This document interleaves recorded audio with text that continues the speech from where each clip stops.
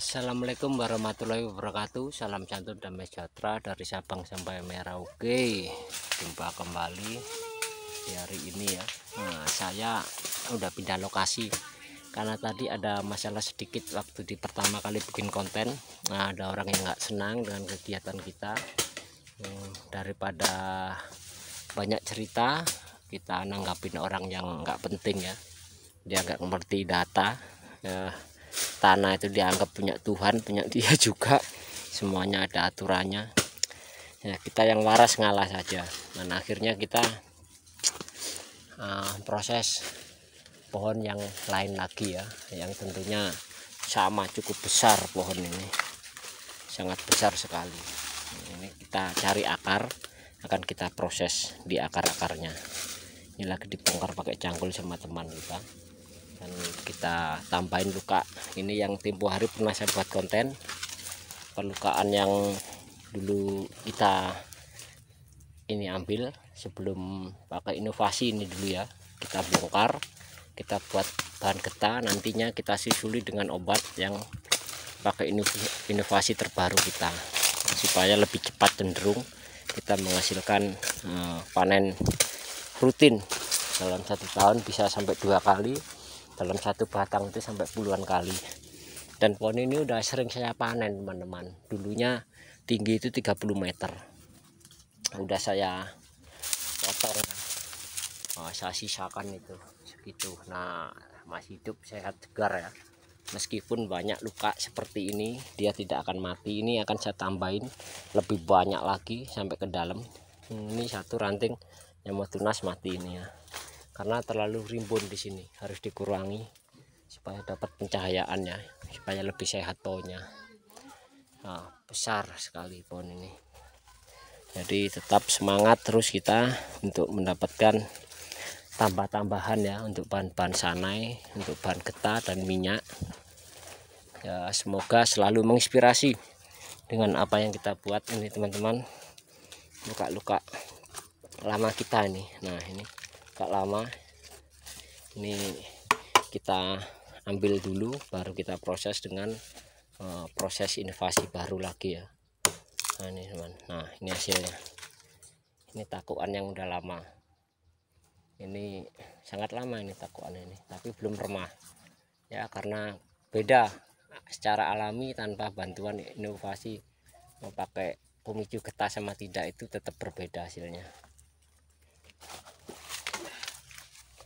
bekas-bekas luka yang udah kita kasih kita ambilin.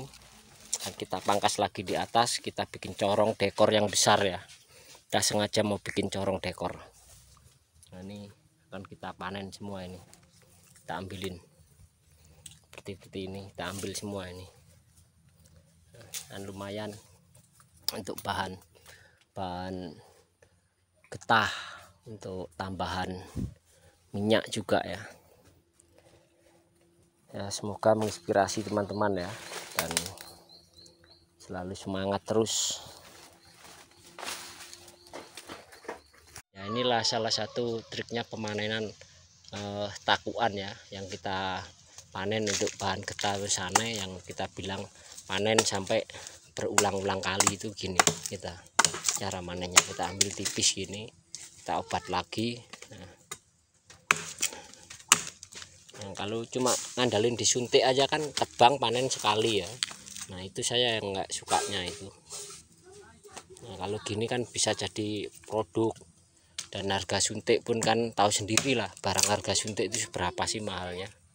Kan kadang-kadang nggak sesuai udah banyak juga yang ngeluh. Teman-teman kita itu kerjanya berat hasil tak seberapa kan. Tebal-tebal ini teman-teman. Nah, semoga menginspirasi ya dengan adanya eh, hal-hal uh, seperti ini ya. Nah, mungkin saya rasa membantu untuk pengetahuan teman-teman kita yang sebangsa setanah air kita itu semuanya saudara. Nah itu teman-teman yang atas sudah selesai ya. Kalau yang bawah nah ini setebal inilah. Barang-barang yang kita ambil. Nah ini. Ini diambil getahnya nanti kita proses kita pilihin lagi pisahan putih sama coklat. Kita giling kita hancurkan kita ekstrak. Nah, ya kerjanya lebih simpel daripada kerok kayu garu. Jenis-jenis seperti ini kalau dikerok itu rusak. Harganya pun juga ah kadang nggak sesuai gitu. Ya terus terus terus menginspirasi. Semoga bermanfaat ini teman-teman dikumpul hasilnya itu juga panen takuan kayak gitu. Nah, jadi berulang-ulang kali. Kalau ini kan baru sekali pemanenan takuan untuk bagian batangnya. Batangnya masih mulus masih utuh ini. Nah, taku ini semua diambilin semua ini nanti. Pas-pas luka nah ini akar-akar yang udah dibongkar dipersiapkan akan dikasih pemicu getah ya supaya lebih cepat lagi.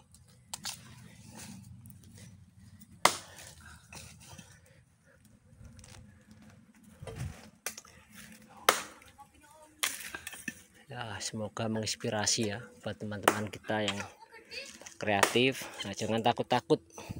Pohon itu takut mati atau apa nggak ada pohon garu itu sangat sulit untuk mati.